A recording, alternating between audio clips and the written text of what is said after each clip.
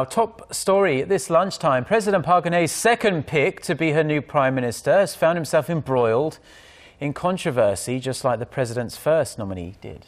Some controversial comments made by Moon Chang-keuk a couple of years ago have surfaced and are casting doubts about his confirmation at Parliament. Chu Sun reports.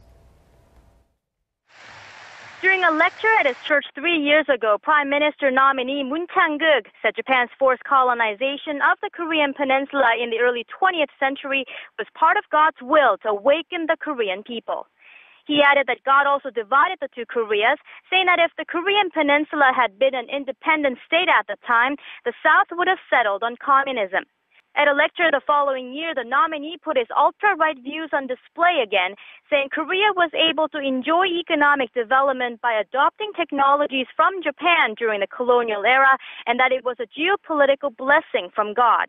Moon also denied that Korea's liberation from Japan was because of the people's independence movement, saying instead that liberation was granted to Koreans by the will of God. In response, ruling Saenuri Party floor leader Lee Wan-koo said he believed the comments were not ill-intended and that the nominee was trying to say that Korea as a nation should learn from past mistakes and move forward. The opposition New Politics Alliance for Democracy had a decidedly different reaction. They called the nominee's comments anti-national and outrageous and said President Park should immediately withdraw his nomination and apologize to the public for another failed personnel appointment. Moon Chang-keuk's representatives in a statement say the comments are being misinterpreted since broadcaster KBS has only aired portions of them.